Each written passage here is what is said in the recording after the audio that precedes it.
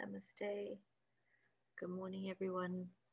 This is the sixth session that I'm recording um, of Shimon Ben Avi's um, yoga workshop transcript from the yoga workshop entitled The Flow of Life Where and How Do We Live Our Lives Without Friction, which was given in Cape Town in South Africa 2019. And I want to start by saying thank you. Thank you so much to Shimon for his incredible teachings, which are so profound and so practical. He really gives us tools to deal with everyday life and applies the yoga wisdom in a way that can make a huge difference in our everyday life. And thank you also so much to Leora Devovitz who um, transcribed, sorry, who translated the um, workshop from Hebrew into English. Um, she did a fantastic, incredible job, and these words would not be reaching you today without her. Um, the reason that I'm doing these readings is because Shimon is an Israeli teacher who teaches in Hebrew primarily, and therefore I think is not very well known in the English speaking world. And I really want to um, get his teachings out into the world because I believe that they can help people so much. They have helped me so much in my own life. I've been a student of Shimon's for um, 15 years or more, and the shift has been so profound from just following his teachings. Therefore, I really hope, particularly at this time, that these will be practical tools that you can use in your everyday life. Namaste. Thank you, everyone. We'll just start with an Om. Sahana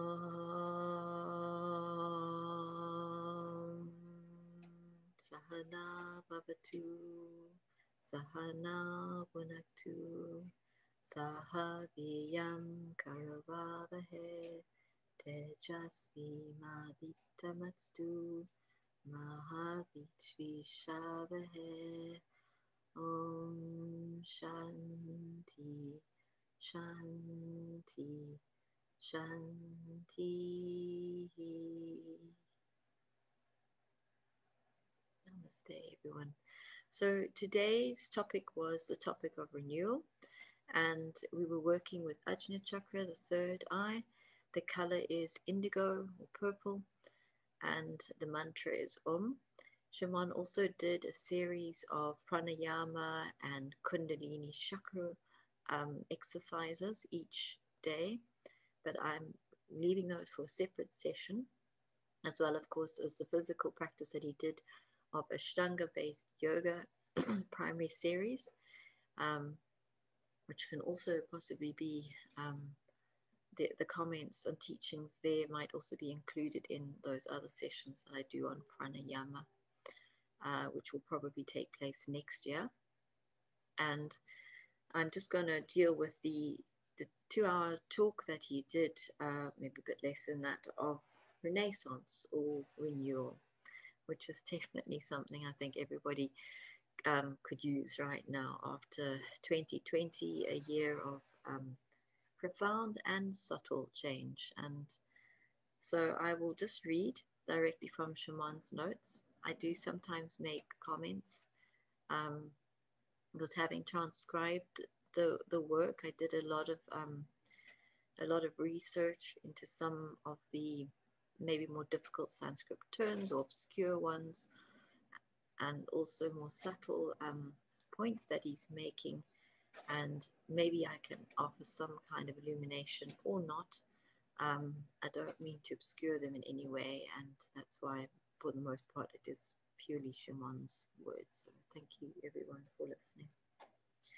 So he began the topic of renewal um, with some questions just while he was waiting for people to arrive. And I always include the questions because questions are an important part of the teachings. Uh, other people's questions can really help all of us, as Swami Sarvapriyananda has always said. It's part of the process of um, questioning. You know, we need to hear the teaching we need to question it and then we need to meditate upon it, to sit with it and marinate in it. So, and the first question um, after having said good afternoon and welcome and thanks for all being here, is um, a question that reflects on relationships with family and friends.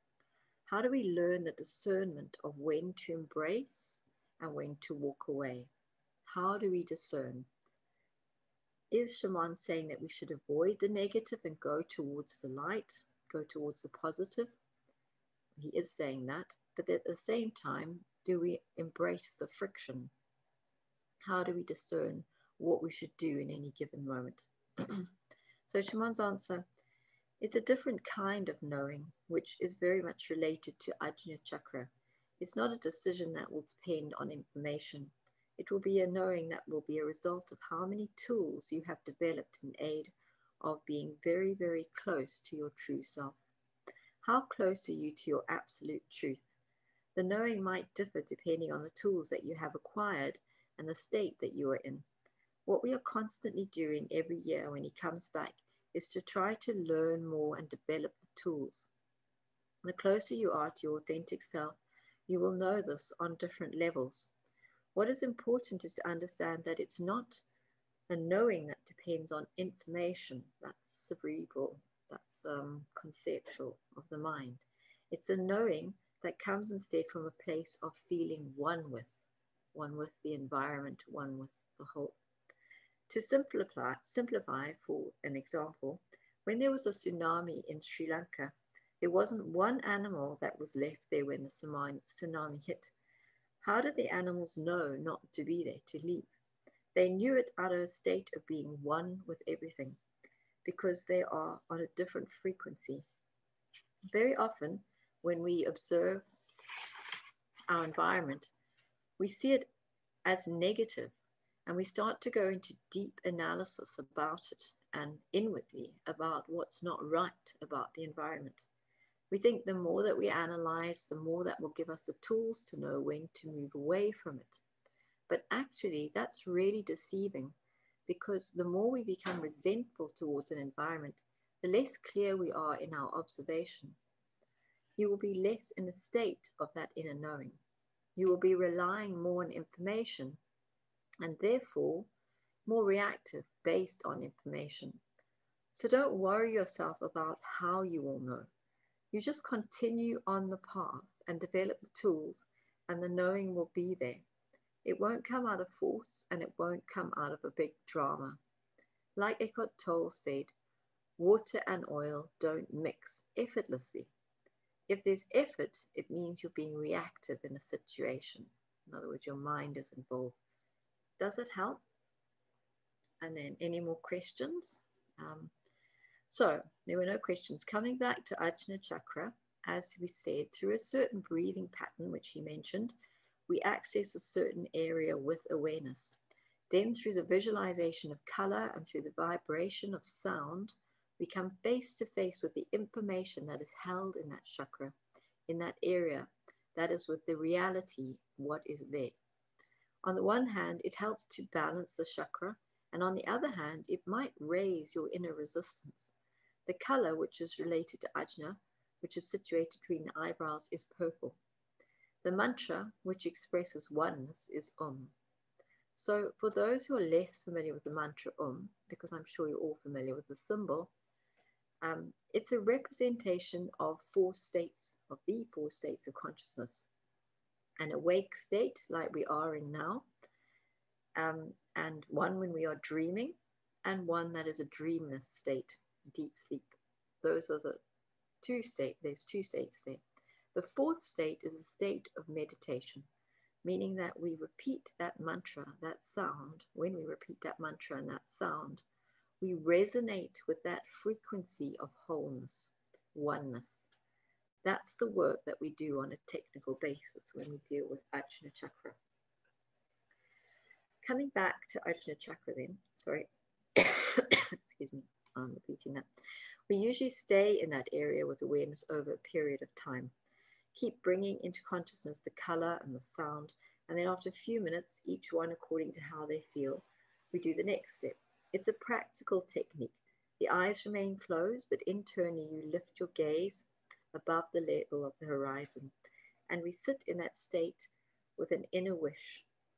In the case of Ajna Chakra, the chakra that represents being one with, you might want to sit with the question how or what in my everyday activity, maybe in my work, my relationships with my friends, anything that I do daily, how does that contribute to the experience of oneness? Or how can it contribute to the experience of oneness? How does my daily activity and doing contribute to that experience of oneness? You might just have a wish that this experience might happen in your daily life. As you, sit with that, it will start to affect your daily doing. It doesn't mean that you change your daily activity or work. You might stay with what you've been doing, but it will change its quality. You might find that with that inner wish, your daily activity starts to contribute and support oneness. So, in other words, we have a wish that everything that we do in our daily lives can support oneness. And just having that intention will change the quality of our doing, even if it doesn't radically change, for example, the work that we do. It may do, but it, might, it may not do either. The sense related to Ajna Chakra answers the question asked earlier where do we get insight from? Where do we get wisdom? From our intuition. The sense is intuition because I'm so connected internally that my intuition will tell me. But it's very important to differentiate between intuition and will or desires, to differentiate between the two. The more practice and work you do daily, your sadhana, spiritual practice, the more you will cultivate your intuition. And that will eventually take over.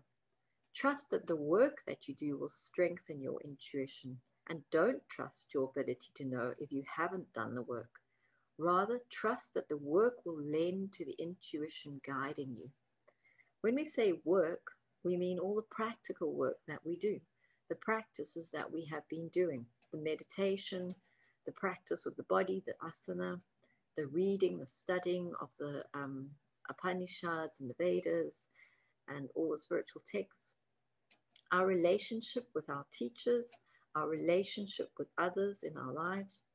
Every moment of our daily life, ask Are we in the center of the story, or can we remove ourselves from the center? All these processes will bring you closer to the experience of oneness, and then you will know. Then you can trust your practice, your sadhana. That's the work required for Ajna Chakra.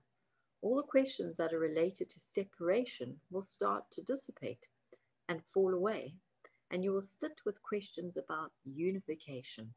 In the scriptures, it describes how a student asks his teacher, and this is symbolic what will happen to the creeper when the tree dies and falls? So the teacher responded, When you leave here, you will meet a human being who has only one eye, and he will explain it to you. Meaning that our eyes, by definition, separate. Our eyes see the creeper and the tree, they separate the two. That's what happens to us here. We see separation. Those kinds of questions arise from seeing separateness. When you feel oneness, those questions fall away. You just know.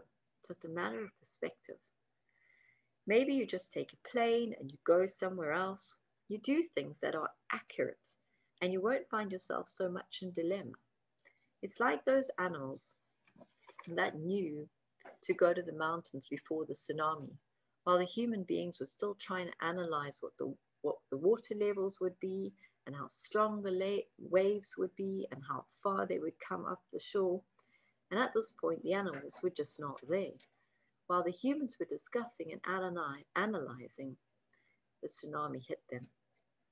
So you need to trust that your inner work will give you the answers even if sometimes we make a mistake, meaning that we are follow that we followed an intuition and got an unexpected result. It just means that your work wasn't in depth enough. So don't doubt the path should that happen.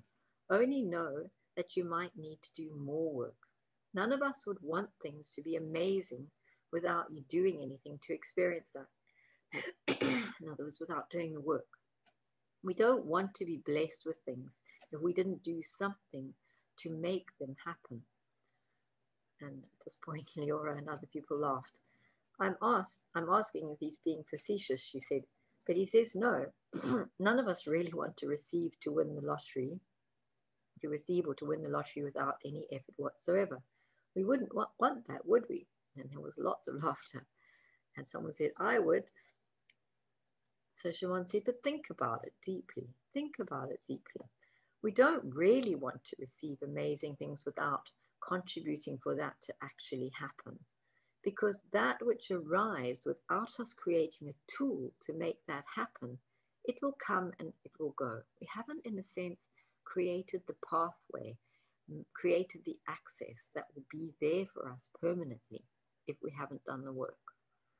It will not become part of our being. Nobody would be happy to live in the elite and wealth of society, for example, in a palace, if it was only given to you for three minutes. It's meaningless then. So things that appear inwards, I would like them to come from me having built the tools to make them happen. That's fundamental. Otherwise, there's no law and order in the universe. There's only chaos. We want to do the work. We want to do the work that brings these things because then we're in, in alignment with the way the universe functions, that there is law and order, that we can actually cause things to happen. Um, like we said on the first day, one of the things that a human being is obligated to do is arter. Even though it's not natural to get up and work every day, it's our obligation. Animals don't evolve or develop. As they were born, so they die. It's a straight line. But human beings can either go down to become demons, or they have the option to go towards divinity, meaning that we have to work. It's part of our obligation or duty as a human being. The human being has to develop tools and skills to work, to generate an income, to have. A human being has to work. That is why, going back to the Bible, being expelled from the Garden of Eden is our privilege because that forced us to start creating the tools that will bring us the skills to work and generate an income. That which comes naturally to us doesn't help us evolve and develop. Does anybody disagree? Are there any questions? If you don't understand maybe what he's trying to say. So there was one question about intuition. Can you trust it only if you've done enough work? And Shimon answered, what does it mean to trust intuition? It means that whatever happens, you accept because you know that it's related to the work that you did. Basically, he's saying that without work, without internal work, sadhana, there is no intuition. It might be will or it might be desire instead. And then the question came maybe it's just a knowing. And you answered, there's no such thing. And he will explain why and he asks, Are you familiar with the kleshas? The five reasons for suffering in yoga. Kleshas are the natural state of humanity, of the human mechanism, right? How can intuition arise from the kleshas? Um, from the ego, in other words. How can intuition come from the ego? And to free yourself from ego, you have to do work. Sometimes what we call a knowing is just our imaginary wishes and desires. We mistake that for, and we mistake that for intuition. So we're just confused. That is not an innate knowing. That usually comes from our wishes or desires because only a human being has intuition. And um, we've talked about before the difference between being born is merely the option to become human. Our first birth is the option to become human being, and that we, by removing the natural mechanism of the ego, by dissolving it, that's how we become human being, which has a singular, has no plural, and uh, refers to the inner truth of what we all actually are.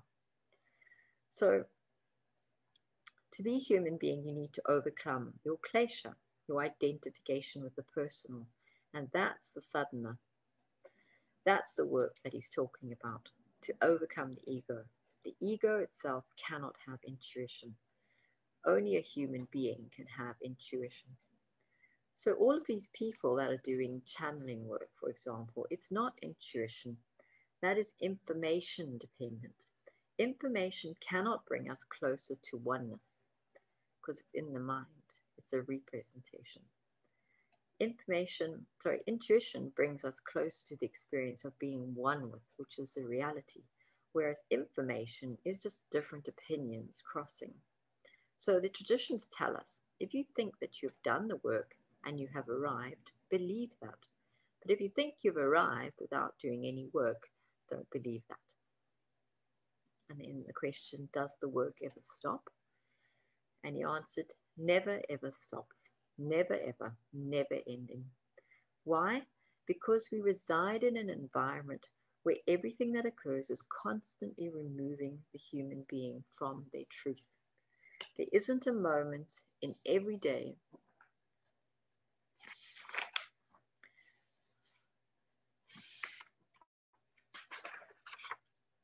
life, sorry, that you're not triggered to be removed from your truth. So we're seduced in everyday life back into our egos, back into our thoughts, out of our connection to presence and reality. That is normal. But in every given moment, you can also you can also be supernatural that is natural to be in the ego state, but in every moment you have the opportunity to be supernatural and to come closer to your truth. It's a choice. We spoke about that when we spoke about freedom. So he'd like to do a short practice of meditation in Kundalini. Okay, so I'm going to leave that part and move on to the talk.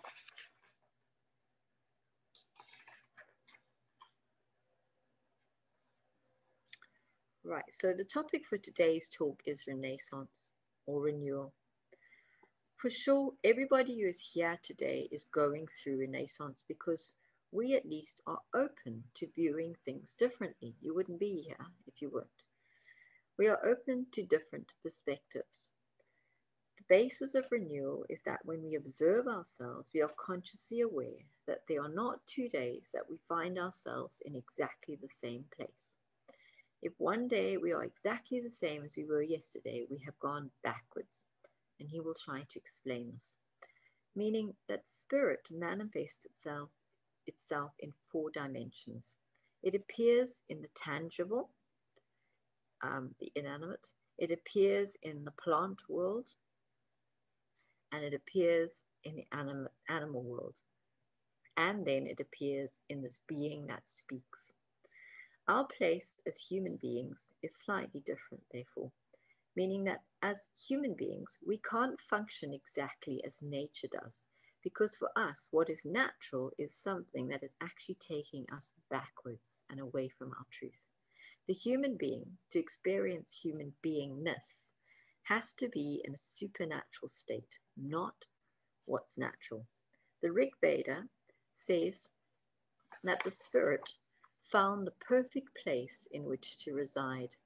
That ideal place was the human being, because what makes us different is our ability to speak. The human being is the only being that speaks, that has language. Therefore, through our speech, through our brew, brew means words, our Brahmin, we become co creators. Meaning that if we look at our body the body is in the same realm as the animals. It's constantly renewing itself. Every cell and everything in the body is constantly renewing itself, and our health depends on that renewal process. We're constantly in renewal on a physical level, in other words. And we invest a lot of energy in understanding our nutrition and our emotional states, in understanding how not to disturb our bodies in the process of renewal, and how to have less that will interrupt or obstruct the process of renewal. In our era, it has reached very high levels of awareness. Now there are superfoods, and we're very aware of how to support the process, process of renewal by not obstructing it. Um, so, yeah, eating correctly, exercising, doing what the body needs to renew itself. We are constantly aware of how to cause as little harm as possible to the physical body in order to keep the body in this process of constant renewal. Because our health physically depends on how much toxicity there is in the body. The more toxicity or dead cells and dead tissue or food that cannot get digested, anything that is toxic, if we are able to remove it, we will remain healthy.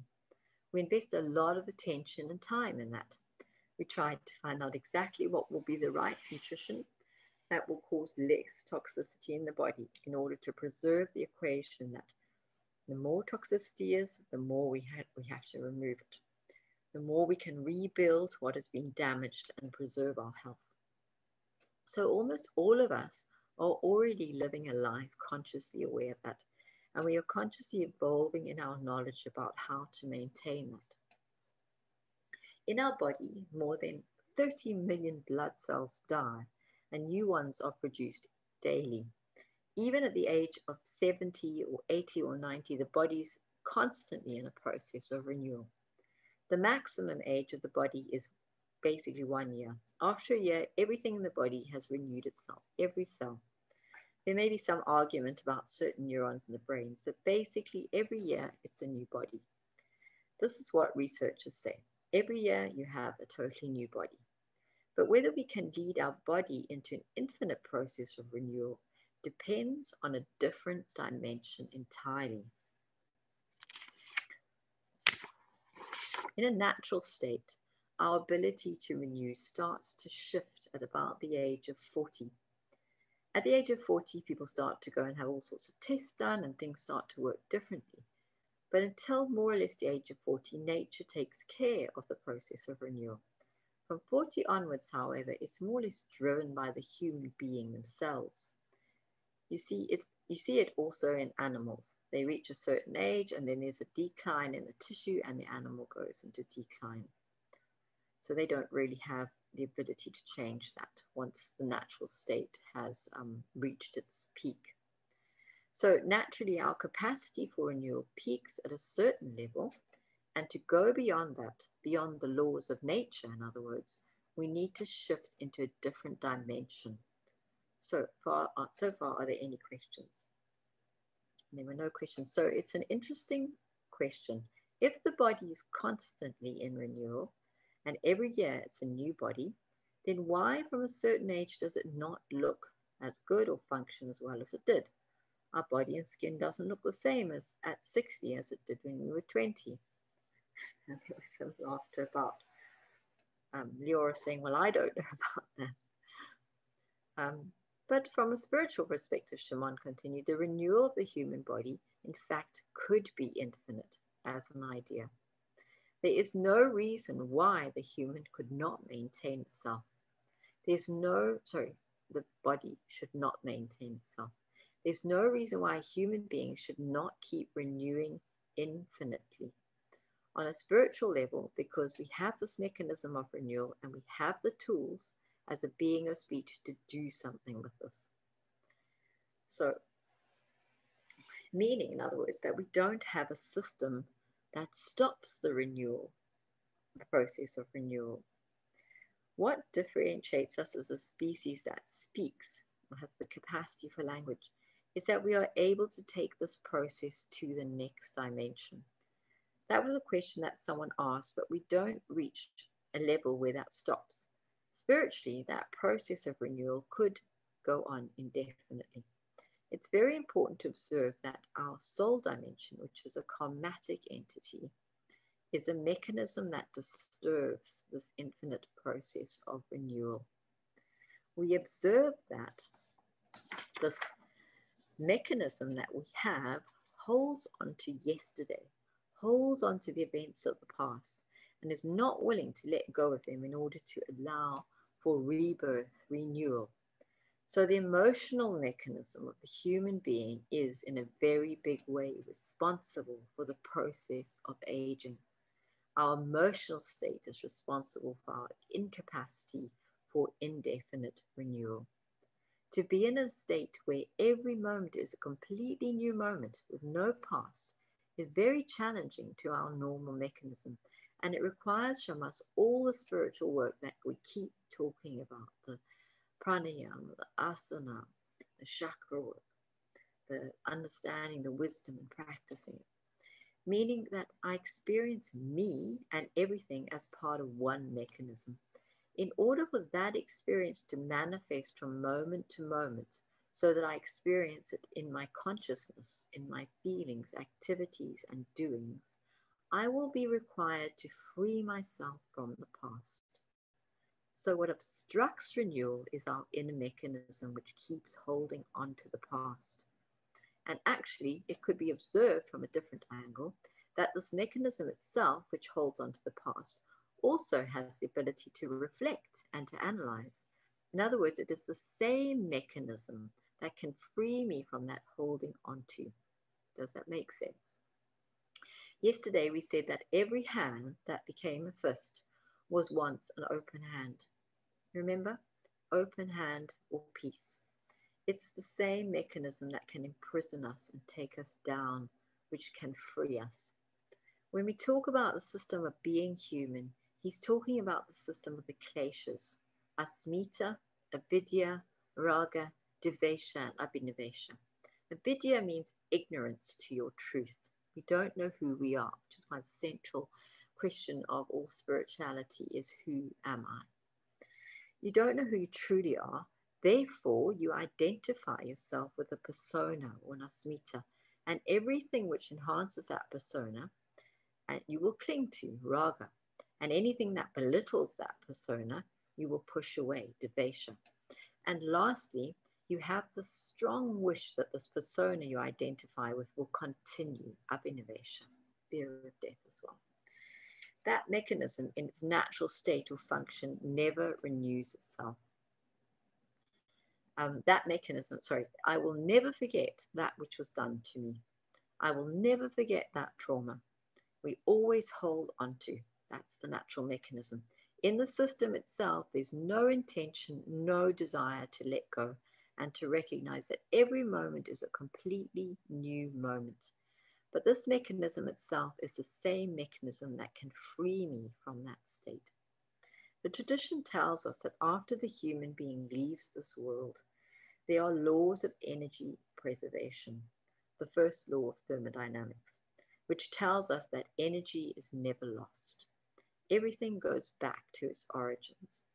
In Chandogya Upanishad, the wise man is asked, Where does the human being go to? Where does the human being go to after he leaves this world? And the wise man answers, Your question itself shows that you understood the spiritual state of the human being. In other words, that the human being is not of the body. He says, Hold my hand, and they walk into the forest, which is symbolic. And in the forest, he says to him, the human being is his doings, and they praise karma. Meaning that we can complain about all the imprints that we come with, and we can complain about all our downfalls and our shortcomings, but we forget that moment by moment in our lives, we have the opportunity for rebirth, a renewal.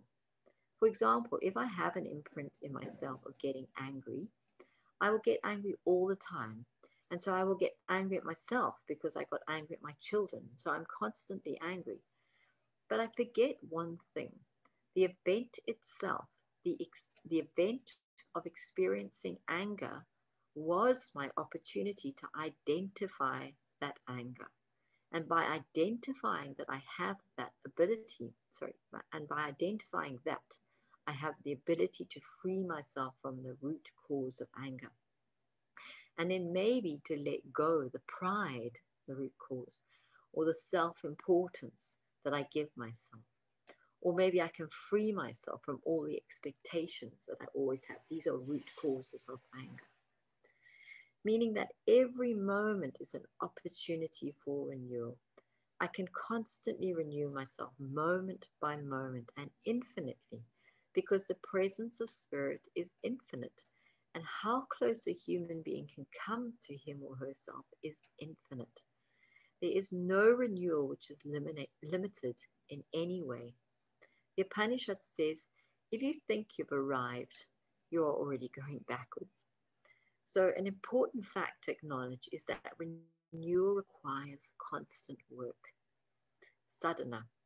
Trust your sadhana, and the sadhana never stops. In that way, you preserve your humility. Regarding this point, is there anything that you didn't understand? If you'd like to any, ask any questions or reflect on this point. And there were no comments. If you have any complaints about anything in your life, is there anyone here who still has some complaint about anything in their life? So, some laughter. Maybe the body that I received, maybe the events that I've been through, maybe the bad luck I've had in my life. Because from a spiritual perspective, whatever you've experienced is very accurate. It's what you need to experience. Whatever you experience is accurate for your journey. Question Shimon, can you say something about fear blocking renewal? And Shimon asks On a physiological level, fear paralyzes the whole mechanism or system of renewal of cells, especially in the digestive area. It really paralyzes your system. It makes you lose the present moment, and renewal can only happen in the present moment, not yesterday and not tomorrow. I have to be present, but fear always removes you from the present moment. Now, on a soul level, fear, and it might sound strange to say this, fear is a mistake or an error. Yet we say we experience fear. That's what we're experiencing. So, what does it mean to say it's a mistake? The idea is that we're not fearing this moment, we fear what will happen in the future. Uh, maybe a second from now, or a minute from now, or a week from now, we're not fearful of this very moment. So, fear is a mistake from the perspective that it removes presence. It's a logical error in a way. It takes the present away from you and it doesn't bring anything in return. It's just something related to the future, which is an illusion. It's important to acknowledge it because when we begin to differentiate what fear is, we develop a different relationship to fear. It calls us less and on a different level of intensity. Fear on a spiritual level is not a fear of what is happening now in this moment. The fear is actually from what we carry inside us in relation to the world around us. I would like to just intervene here, something that Leora always taught us, and Shimon has said too, that in the present moment, if you find yourself in a life or death threatening situation, there is often no fear, and people will report this that at that moment they weren't thinking. Therefore, there was no fear. They simply did what needed to be done. You, you simply act. So the fear comes from the mind. So fear might come in after an event or before, of course, but in the moment, it actually it doesn't exist. So the fear is actually from what we carry inside us in relation to the world around us. So we can say that we are fearful, for example, because of the events that are happening in the environment in which we live. But actually, your fear just dresses itself up. It takes the events that are happening and uses it in its favor as an excuse, in a way. Deep, deep internally, from a spiritual perspective, Fear is an indication of our relationship with the world around us. And that is where we need to create a shift. For example, we find ourselves very judgmental towards beings and situations, but in true reality, we are actually one with everything. So if we experience judgment deep, deep inside in our subconscious, we feel that it's not right. So in our subconscious, we feel that we are doing something that is not right. And so we become fearful, and that's, that something bad will happen to us. That is the true origin of fear. So fear does not come from an event, but rather from the way that I relate to life and this world around me, the way I see it. Do I judge it or do I feel one with it? The more you feel one with, the less there will be fear in your life. If I change my relationship with life, I won't experience fear. If there's an event and something happens, whatever happens will happen and I will act. Maybe I will remove myself from there. Maybe I will stay and defend. There might be an action, but I won't experience fear. Or maybe if my financial relationship changes, I might shift things. I will always take some kind of action, but the fear that often goes along with the action is related to something far deeper inside you regarding the way you relate to the world around you, how you see the world. Do you judge it or do you feel one with it?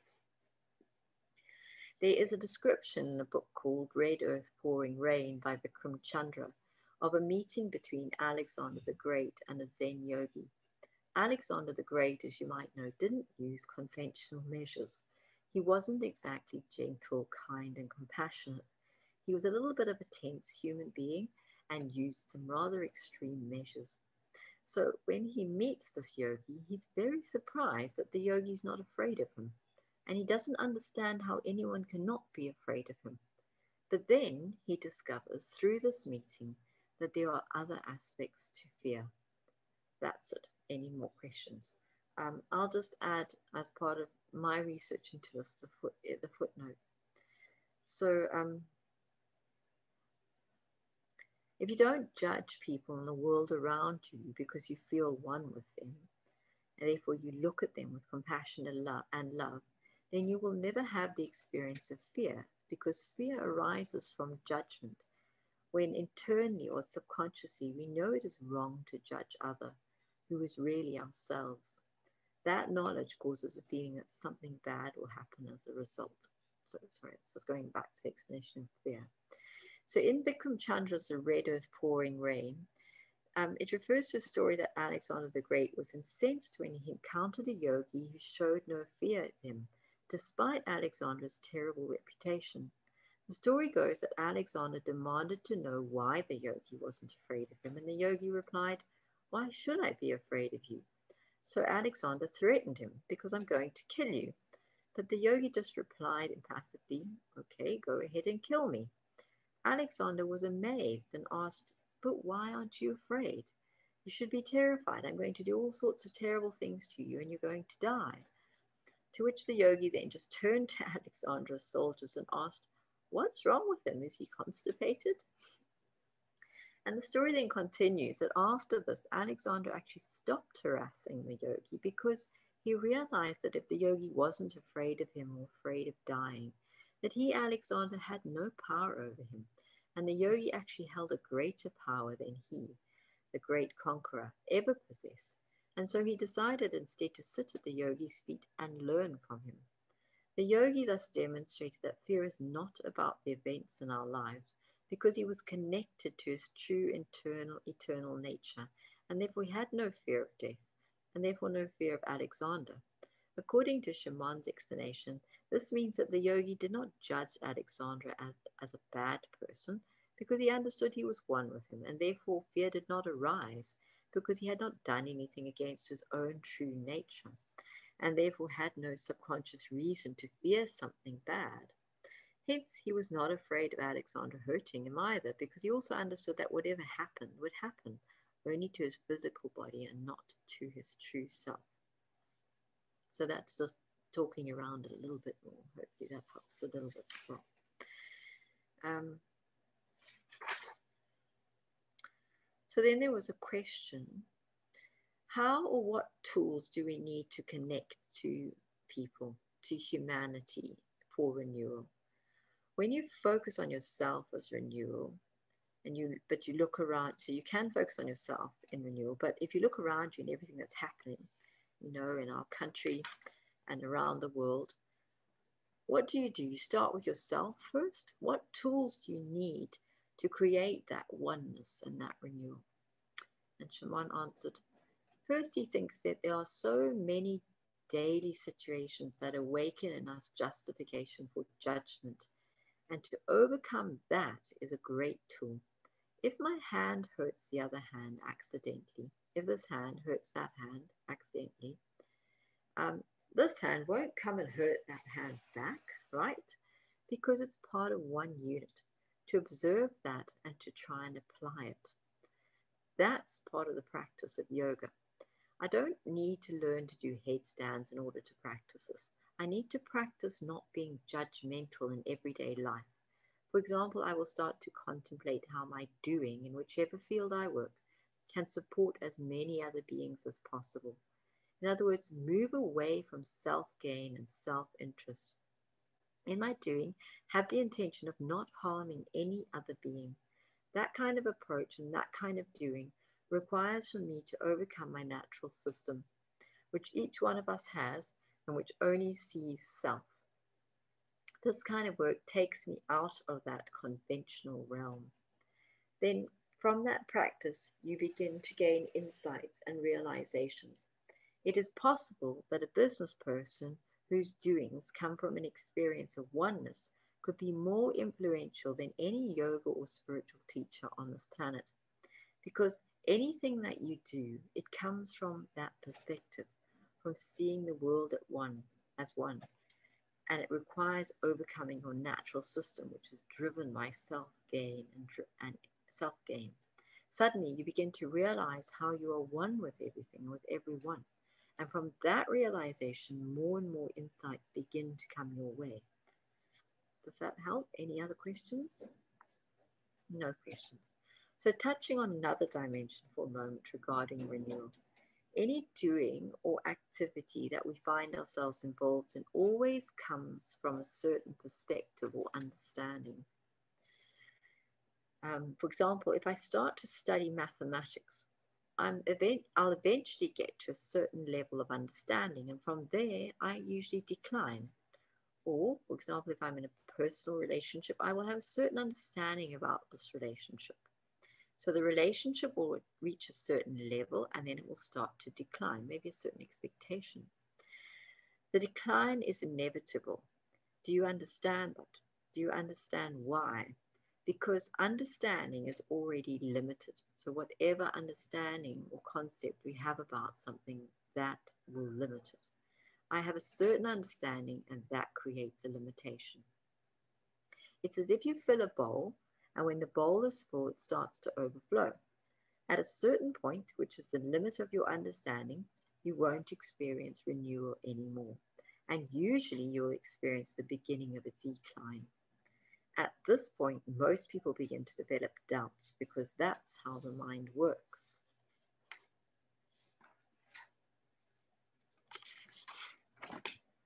Naturally, I think maybe, so I think maybe I'm in the wrong relationship, or maybe I made a mistake with my choice, or maybe the job that I chose for my career is not exactly the right job for me. Very often, as that decline begins, all sorts of doubts start to come up, and these have nothing to do with the journey itself. What does it have to do with it? Do with it has to do with, for example, how much I understand about this relationship or this job Therefore, as soon as the decline begins, that is the moment of opportunity to expand the understanding, to learn more about the subject, and to start widening or broadening my understanding of it. If it was mathematics, for example, maybe I could start to learn about more complex equations or something like that. But the important thing is to go deeper in my understanding of the subject. Then you will experience from the decline that you start going up again meaning that when my understanding has reached its limit, I will experience a decline. And in my natural state, I will develop doubts. But on a spiritual level, as a human being, that decline is an indication that this is where I have to start broadening my understanding. And then I will start to reach new heights. And this process will continue, never ending. Always, I will get to a certain level of understanding, and then I will start to decline. And therefore, renewal is required. So, to take another example on the topic of renewal, when we suddenly feel the body's responding badly to something, the less good thing to do is to run to a doctor because medicine is usually dealing with the dead, not with the living. It can't really say much about the living entity, it's more about dealing with the dead. So it just starts to follow statistics. But if we accept spiritual laws, we are aware that anything that happens with the body is just coming to awaken us to a new level of understanding, to a new dimension. We'll take that physical experience or event as an opportunity to better our health conditions, meaning the decline of our health is an opportunity for you to enhance your health. Does that make sense? When we start to feel we've stagnated emotionally or in our relationships, we know that this is the opportunity to build more effective tools to try and understand better. For example, what does it mean to be a man? What does it mean to be a woman? What is parenting? We try to deepen our understanding and use these tools. He actually, what he said there, according to Leila Leora's translation, is what does it mean to be male and what does it mean to be female? because maybe there is a difference culturally between being male and being a man and being female and being a woman. So I just want to um, make sure I'm um, stating that correctly. We try to deepen our understanding and use these tools or insights so that we will then experience renewal. And the renewal will take us to higher levels, even if it's to do with our creativity, for example, in your art as an artist if your creativity stagnates or maybe your work never sells, that's only an indication that renewal is required. Try to build the tools that will give you a broader understanding so that you can renew.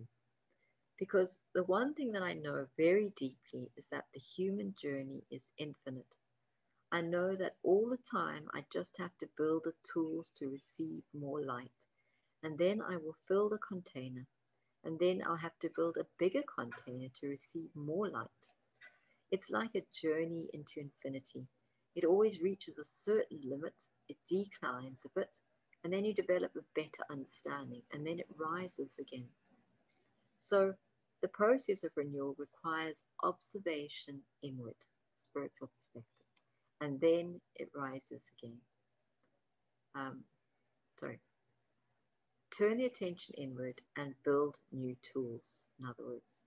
Does anyone have any questions about this journey? Is anyone experiencing stagnation or decline, whether it's financial um, situation or relationship related? Maybe you'd like to ask some questions about renewal in those areas. Question Maybe what type of questions you could ask yourself to know where you are in that process answer. First of all, and maybe we don't want to ask this question, am I identical today as I was yesterday? Then I'm already on a decline on all levels. Do I daily do exactly the same activity? Prepare the same meal? If everything is the same, I'm already in decline. That's already that already puts us all in a state of discomfort. Another thing that might help us to realize when we're in stagnation or decline is our immediate reaction to every event. If I hear about a certain event and I immediately feel compassion and love and kindness to anyone who was involved, I'm probably on the incline. If immediately I experience judgment, fear, blame, pointing fingers, and such, most likely I'm on the decline. So our indication in everyday life are usually quite obvious. What we need to do, as he said on the day that he spoke about spiritual perspective, what we what will help us always is to take yourself out of the center of the story. So in other words, how can my action benefit everyone, not just me? What does the picture look like when I'm not at the center of the story? Immediately you will start to see things differently always allow yourself to approach everything from a slightly different angle or wider perspective. Even your nutrition, your meals, your daily habitual conduct, always find something new. If you find that you're always that you always have discussions that are repetitive, nothing should feel the same, same, and same. The human being is a microcosm of the macrocosm, and the Rig Veda tells us that the human being is now also what will become of human beings. One of the tools that might help us in this case is to ask each one of us here the question How do you see yourself a year from now? Often, It's very difficult to see a picture like that. And if the picture is identical to today's picture, then you're on the decline. It can't be that in a year from now it will be identical. Same food, same routine, same, same, same. The universe is constantly in flux. And if the body is constantly renewing, why should we stagnate and stay the same? How close can we get to the infinite? Infinitely close. It just requires courage. Not courage to express my opinion, but courage to live life in constant shift, flux, change. The ancient Greek tradition and the yogic tradition always said you cannot enter the same river twice. Do you know that saying? You can't even enter the same river once because the river is, is constantly changing. And also, I'm constantly changing. I'm not the same human being now who I was this morning or when I woke up or even a moment ago. I'm a different being moment by moment. I'm a different being, and that is important to recognize. And what supports us, even though we know it's very difficult, is to realize my past, sorry, to release my past from dictating my present. Let go of the past or the dead so that they don't continue to dictate our lives. What we need is rebirth at every moment. Is there something that you wanted to ask? And the question came yes, on the topic of infinite renewal. Spiritual teachers would say that consciousness is constantly expanding, and a lot of people in this day and age would say, How can that be possible? I think for myself, I feel like consciousness is expanding, but I don't know if that's because of what I'm experiencing. Do you believe that consciousness is constantly expanding at the moment? And Shimon answered, It is said that it is not an evolutionary process, but it is a discovery process, meaning that who we are, we are everything, but we came limited or we came concealed, meaning that our soul, which is the karma, conceals from us that infinite consciousness and naturally, we won't remove those blinds that conceal this from ourselves. Removing that which conceals is our duty, our obligation. It's what we have to do. That is the purpose of our existence. I was born in order to remove those skins of the fruit. It's not that I was born a small monkey and now I will transform into a larger ape, but I am God concealed, hidden. And my process is the discovery of that. Not that it grows, it's just that you come back to experience its vastness, its infiniteness through removing the skin. Does that make sense? Every time that I overcome my reactivity, I've uh, removed a certain layer and I feel a little bit closer to my true self. So my consciousness feels like it's expanded, but it's more about discovery, it's a process of discovery. One way that we might experience this in daily life, as Ramakrishna says, is to look at the earth. The earth is constantly giving. Try to learn from the earth. As much as we tread on it and poison it, it's always in a state of giving. I try to learn from space. Space is everywhere. It is everywhere and yet is not influenced by anything. Then I find in life that regardless the situations that occur, they don't affect or contract my heart. They don't diminish my love. I always stay clean and open to love unconditionally. And so if we look at this, there's this constant process that occurs as I overcome my natural habit, habitual pattern and reveal that which I truly am. When I find myself in a state of judgment, I will feel that I'm never happy in that state and will realize that I'm never happy in a state of judgment. Even if you think you're right, you never actually experience happiness in that state of judgment. It's a state of hell. It, it's a state of unease and discomfort inside. Notice that, observe that in yourself. But if you're in a state of compassion or giving or supporting, on the contrary, you will always feel this inner joy or happiness because you resemble them and you become and you become close to your truth, to life itself. You resemble life. and you resemble Mother Earth, like Mother Earth. Another sutra in the Yoga Sutras tells us that the system didn't create the wholeness of who we are. The mechanism that we are born with is there in order to remove that which obstructs the wholeness of who we are. Meaning the mechanism is there to help us shed that which conceals who we are. Does that make sense? Answer yes. I guess what I was reading it as is gross consciousness as a capital C of the whole and thinking if consciousness is expanding, ultimately we're all going to grow in consciousness to the point that we have this ultimate harmony in the world. But maybe that's a function of the mind wanting that achievement. And I think there was a little bit of a misunderstanding in terms of um, terminology here. I think the question was the way consciousness is used colloquially today. When they say consciousness is expanding, um, I think what they mean is that more and more people are waking up. And that's maybe what um, what he was actually trying to say, rather than that consciousness itself is expanding. Shimon was saying consciousness itself is infinite already. It can, can't expand anymore. It is already infinite. It is simply that it is concealed from us by the natural mechanism. And that through a process of discovery, of removing the veils, we discover who we truly are and the infinite consciousness. So it was, I just think, a little bit of a confusion in the question and the answer here.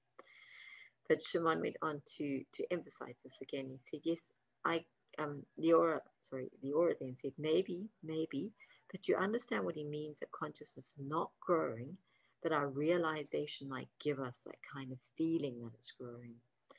As we shed our skins, it's like consciousness is growing, but it's actually always infinite. We are just limited, and then we slowly reveal more and more as we shed our skins. And the reply was, I think so. I might have to sleep on it and come back tomorrow. Yes, sleep on it and come back tomorrow morning. We can discuss it more. So then we will just come back into a meditative state for a moment or two. So observing, and we can do this now, observing our physical body inward, realizing that that which lends to the continuation of this physical body is in constant renewal Maybe just close your eyes for a moment. Always eliminating that which no longer serves, cleansing all toxins on a physical level, on a mental level, always renewing and rebuilding. Be grateful for that function deep internally and allow on a soul level deep within that our emotional health will come from the same source of renewal so that we can let go, even if it's in a sleep state, all that which we tend to cling and hold on to. And we will realize that every single moment of our day is an opportunity to release and let go of that which we hold on to. And that renewal is that which lends to my health and my happiness, to my constant renewal. And daily in my spiritual practice, I will keep building my tools and creating bigger and stronger tools allowing more light and more happiness to enter my life daily. So, bringing your hands to the heart center, we would like to thank each and every one of you for being present. Namaste. Thank you very much. So, the next session is Shimon's, which was Shimon's last day, where he was going to be presenting the topic of unconditional love. Thank you so much, everyone, for listening. Um, if I manage to get the comments working, then I'm very, very willing to enter into any um, discussions about any of these talks. Namaste. Thank you. Um, shanti, shanti, shanti.